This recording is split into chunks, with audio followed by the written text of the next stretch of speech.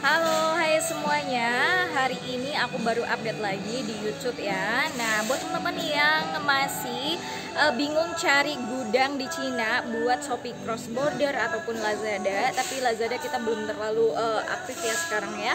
Nah, untuk teman-teman yang mau cari gudang Shopee uh, di Cina, kita juga sudah operasi gudangnya di Cina ya. Satu paket itu satu uh, kalau misalkan barangnya kecil-kecil kayak uh, aksesoris uh, apa ya jepitan rambut dan sebagainya itu 1 sampai 2 yuan doang.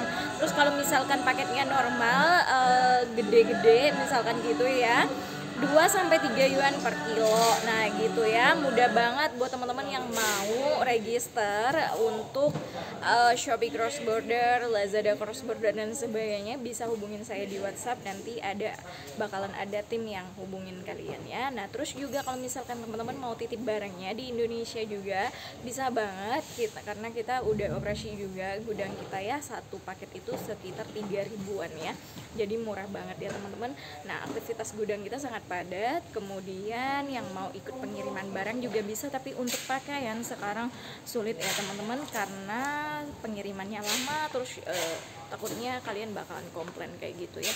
Nah terus juga kalau misalkan kalian mau kirim barang lain titip dan sebagainya juga bisa ya hubungin kita di WhatsApp. Oke okay, bye